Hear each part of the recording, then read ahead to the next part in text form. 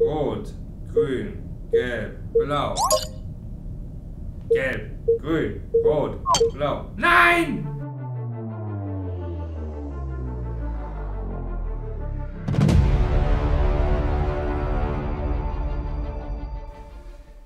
Herzlich willkommen, Feuergamer, Zack, McFly wieder am Start ihr habt es gerade kurz schon gesehen. Hands Physics Labs zocken wir heute. Seit schon einer längeren Zeit gibt es ja das Hand-Tracking an der Oculus Quest.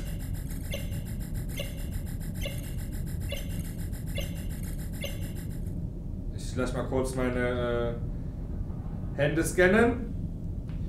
So, und ich wollte mal ein bisschen testen, was da so geht. Habe mich informiert, was da so ähm, die besten Sachen sind und bin dann hier auf dieses Hand Physics Lab gestoßen. Ist jetzt nicht das beste Hand-Tracking-Spiel, da gibt es noch so ein, so ein Zaubererspiel, aber das hier ist kostenlos über SideQuest. Ähm, ja, Link zu dem Video kann ich ja verlinken, wo ich euch erkläre, wie man auf SideQuest was installiert. Und ich würde sagen, ich stürze mich einfach mal hier rein. Äh, flip your left, palm up.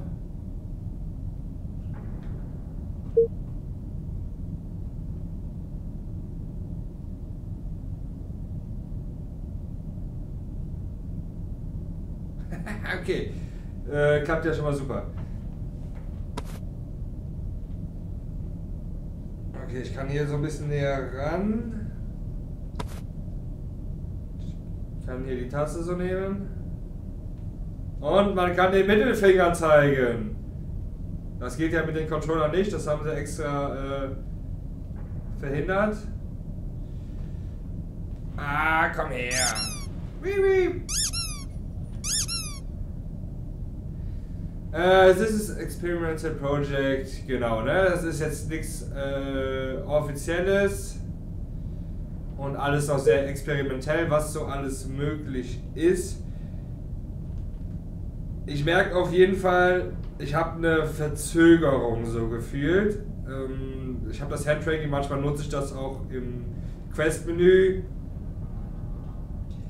Wenn er dann, äh, ja, weiß ich nicht. Ist, manchmal kommen halt Situationen, da mache ich das mit den Händen einfach. Ist auch relativ simpel, ne? Mit dem Zeigen. So, hier es ist es ist genauer, aber es ist, wirkt ein bisschen verzögert. Aber gut, ich guck mal, was alles hier geht. Ich kann zum Beispiel meine Hände anmalen.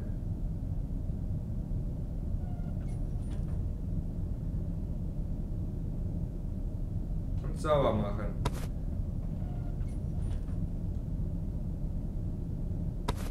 Ah, guck mal, man kann auch so ein bisschen auf die Ferne schon nehmen.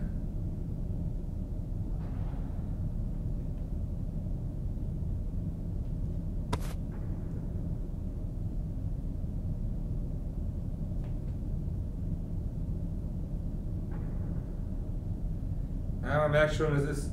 Oh nein, das Eis kaputt. Ah, da ist es ja. Es ist nicht so 100%. Okay. Zack, zack, Zack, machen wir ein bisschen noch grün drauf. Schön. Und jetzt kann ich das hier. Ach so. Ach so. Okay. Das ist natürlich stark. Okay, also mal wieder runterkommen, ich mal hier ein Ei an. Aber es ist trotzdem schon ziemlich cool was man hier machen kann. So, dann kann ich mir auch meine Hände sauber machen. Was, wenn ich das Ei reinfallen lasse, dann ist das auch sauber. Interessant, Eier malen. Hat man, wenn man es mit den Kids so macht, hat man ein bisschen weniger Sauerei. So, jetzt kommt man hier erstmal natürlich. Okay, die geile Ballerei.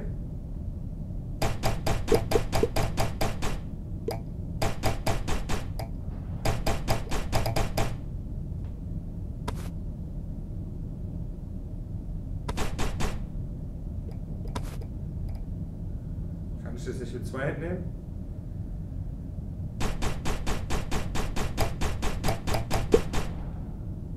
Okay, jetzt habe ich gerade irgendwie das Tracking blockiert.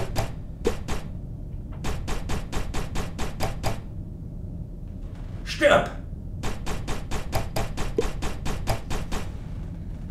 Korrekt, ja, keine Ahnung. Ähm, das ist ein bisschen komisch hier. Wie gesagt, es ist, es ist dieses Verzögerte halt einfach, was das Ganze dann wiederum nicht so genau macht, leider. Äh, was sieht denn noch interessant aus? So mit Chemikalien rumspielen ist, ist doch immer ganz geil.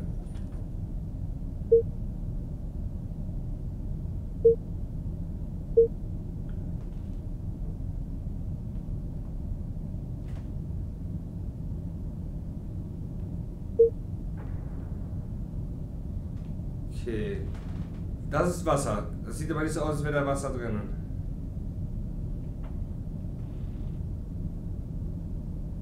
Okay, ich kann meine Hände auch verbrennen. Interessant. Dann mache ich die hier rein. Ähm, irgendwas fehlt mir doch hier, oder?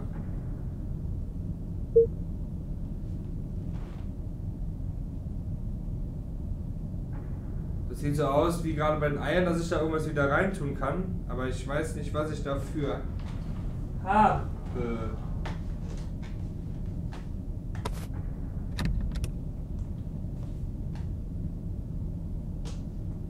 Okay, da ist eine Tür hinter mir. Wofür auch immer. So, ich verstehe gerade nicht, was abgeht. Einstellungen. Settings.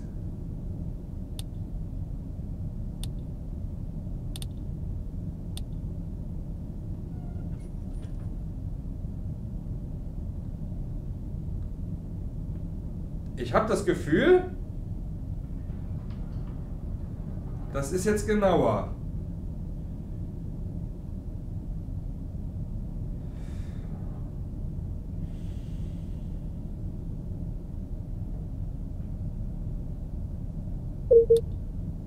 Wow!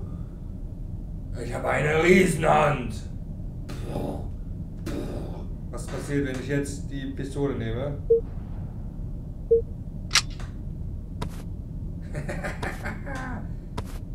Jetzt kann ich nicht mehr schießen.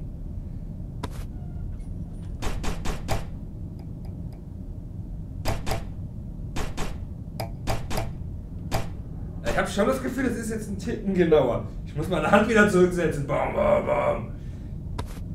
Wie schaffe ich das? Äh. okay, ich mache einfach mit der Hand.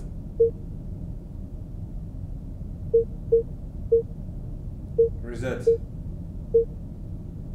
Okay, alles wieder normal. Okay, das bringt ihn auch zu Problemen.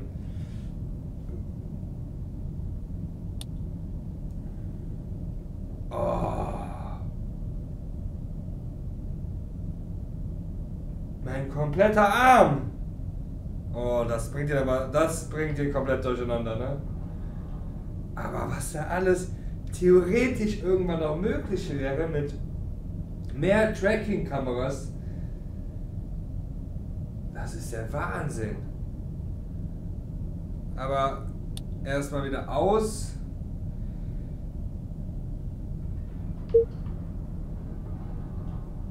Okay, damit kann ich den Tisch hoch und runter machen. Alles klar. Sehr gut. Ähm so, dann haben wir hier Werkzeug.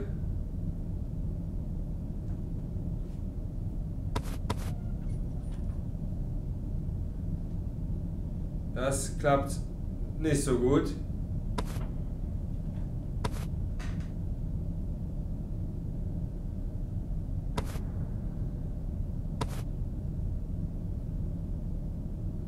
Schnelle Bewegungen. Es klappt auch noch alles nicht so perfekt. Ich weiß nicht, ob das mit meinem Licht, wobei ich habe ja eine gute Beleuchtung. Eigentlich müsste das doch gut sein, oder? Buttons. Rot, gelb, grün. Also rot, gelb, grün, blau. Rot, grün, gelb, blau. Gelb, grün, rot, blau. Nein! Gelb, rot, blau, grün. Blau, gelb, rot, grün. Rot, gelb, blau, grün. Rot, blau, gelb, grün. Blau, gelb, grün, rot. Blau, gelb, rot, grün. Wir haben es fast geschafft.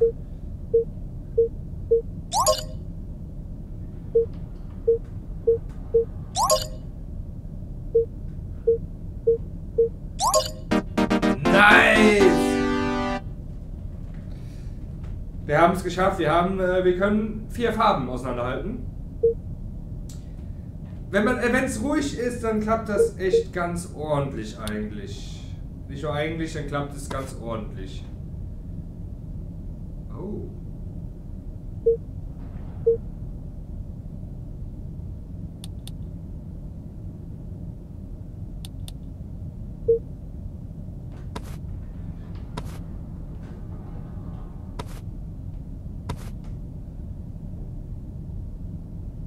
Lässt nicht los. Er lässt nicht los.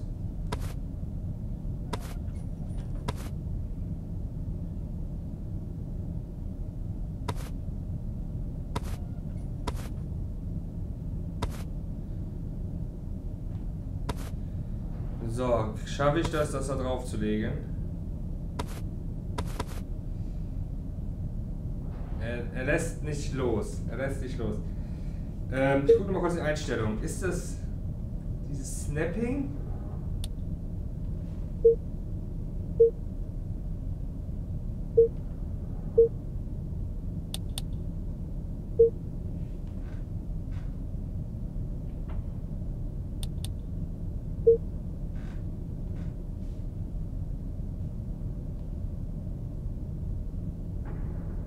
Ja, Tatsache. Es lag an diesem Snapping. Man, ne, ich hatte eben noch diesen weißen Pfeil, um auch so ein bisschen auf einer gleichen Entfernung was nehmen zu können.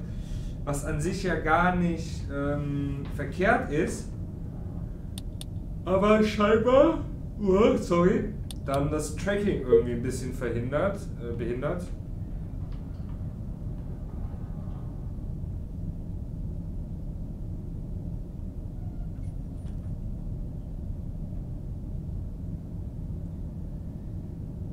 So, jetzt nehme ich diesen Felsen.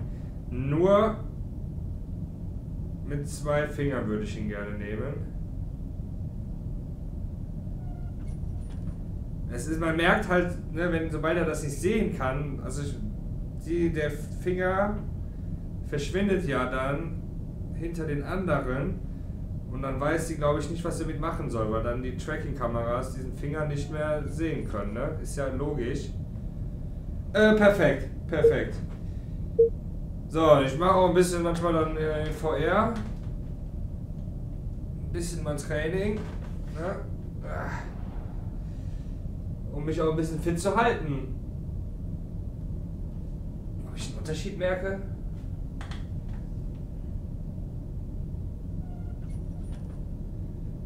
Ich kann ja wohl 10 Kilo hochheben. Aber 1 Kilo kann ich hochheben.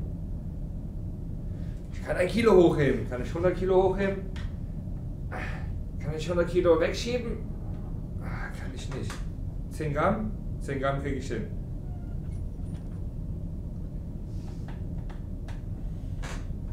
Gut, weiß ich nicht, was das soll. Äh, also, okay, klar, man kann den Sachen unterschiedliche Gewichte geben. Und dann kann ich die dann natürlich je nachdem nicht mehr bewegen. Ne? Das ist jetzt nichts Besonderes mit Handtracking. Oh, oh, das ist mal jetzt interessant.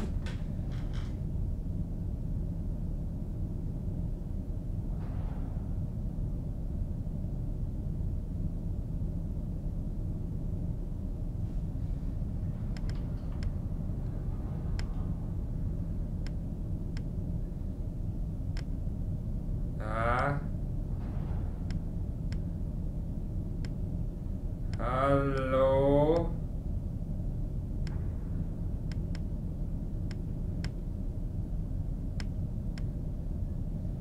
Deutsche VR Gamer. Perfekt, deutsche. Scheiße. Okay. Vielleicht, wenn ich so tippe.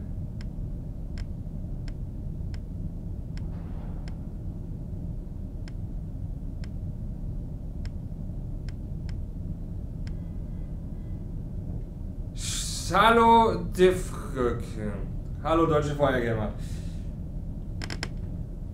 Okay. Haben wir schon das Geld zu schnell geht nicht.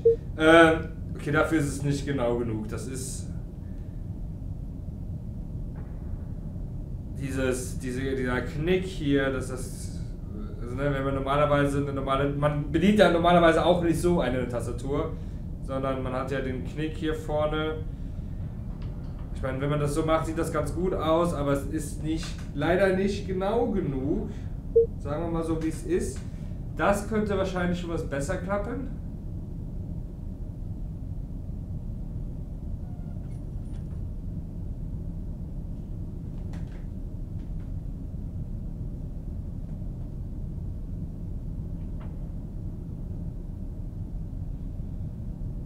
Ähm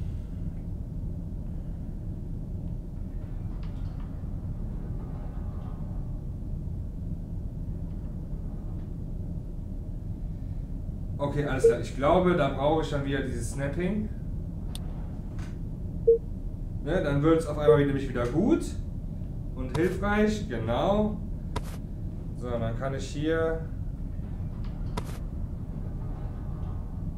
eine gerade Linie zeichnen. Ja, schon fast.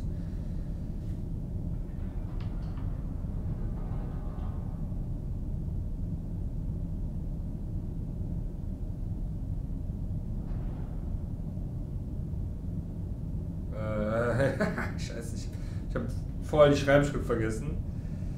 Ähm,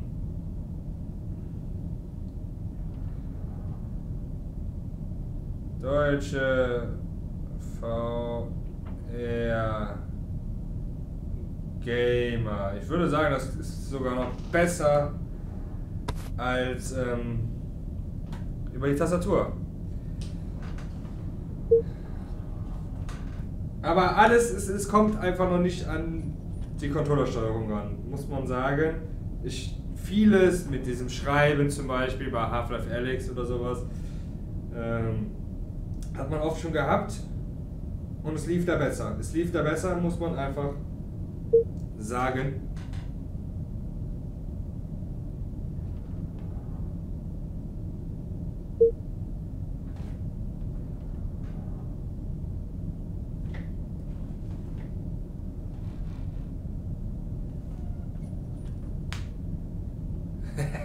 Willst mich verarschen spielen?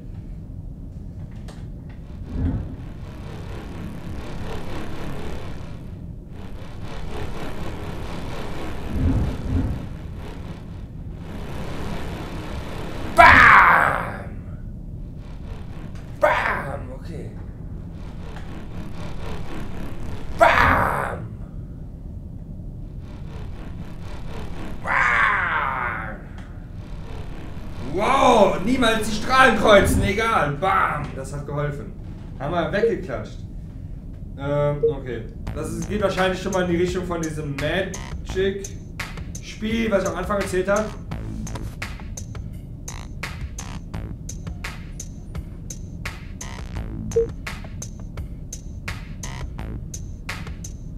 Okay, das ist auch interessant. Das ist jetzt natürlich hier, das ist so eine Ragdoll-Mechanik.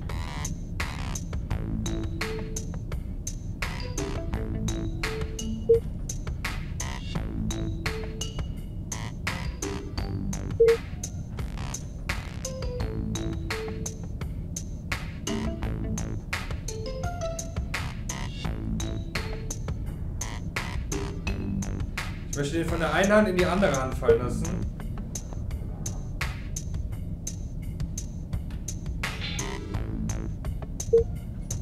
Das ist aber auf jeden Fall schon interessant, wie das so auf die Hände hier reagiert. Es ist auf jeden Fall nicht verkehrt. Also auch wenn ich jetzt ein paar schlechte Sachen ja gesagt habe. Das ist wirklich schon sehr interessant. Natürlich muss das noch ein bisschen ausgereift werden. Ähm, und die Frage, die ich mir stelle, Bewegung, wie funktioniert das? Aber wahrscheinlich, wenn dieses Handtracking mal 100% funktioniert, dann stehen wir wahrscheinlich alle auf so einer kleinen Plattform bei uns zu Hause, bewegen uns, können einfach gehen, können unsere Hände bewegen. haben unsere Arme je nachdem noch. Dann kann man ja in dieses Podest, wo man drin steht, auch noch Tracking-Kameras machen für die Füße, damit man dann auch wirklich die Füße sieht. Das ist schon, also gibt dem Ganzen mal noch fünf Jahre.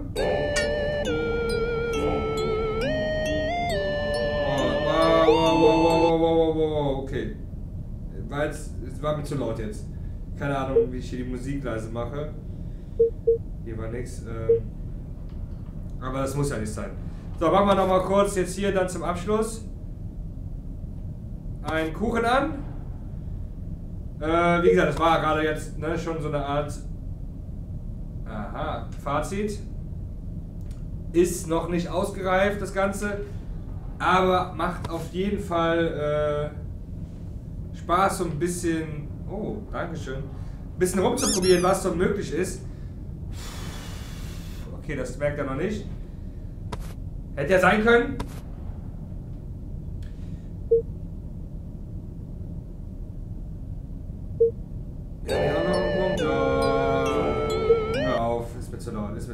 Was, warum machen die so eine ekelhafte Musik rein?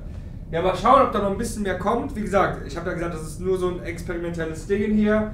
Auf SideQuest kann man sich das auf die Quest runterladen. Wie gesagt, Link zu meinem Video in der Beschreibung unten, wie man Spiele mit SideQuest ähm, auf die Quest lädt. Und dann könnt ihr es je nachdem auch nochmal rumprobieren. Ansonsten ähm, zum Beispiel so Elixir ist, glaube ich, kostenlos offiziell auf der Quest. Geht auch mit ähm, Handtracking, ich habe da auch schon mal reingeschaut. Thema Bewegung, da muss man dann auch so, muss man dann so Dreiecke, man zielt dann auf den Boden irgendwo hin und dann hat man im Prinzip die Teleport-Funktion. Aber da wollten wir eigentlich von weg, dafür gibt es die Sticks mittlerweile. Deshalb, ich glaube, die Zukunft, wie eben schon gesagt, werden diese Holodecks Decks sein, ne? nicht Desk, sondern Holodeck, wo man sich draufstellt, läuft dran rum und man hat seine Arme, meine Hände, man hat seine Beine, alles in VR, man zieht eine Weste an, man spürt alles. Wirklich, also VR ist schon sehr weit und steckt zeitgleich echt noch in den Kinderschuhen, wenn man überlegt, was, was für Möglichkeiten das da alles noch gibt. Ich bin gespannt. Ihr könnt ja auch mal in die Kommentare schreiben, was ihr so davon haltet. Habt ihr hier auch schon mit rumgespielt? Kennt ihr noch andere Handtracking-Spiele, die interessant sind? Ähm, dann her damit, sonst baller ich euch ab. Und ja, was, wie, was denkt ihr, wie geht es in der Zukunft weiter mit VR? Und solange, ja, okay, ruhig bleiben, drückt einfach auf den Gefällt mir Button, abonniert den Kanal, haut rein!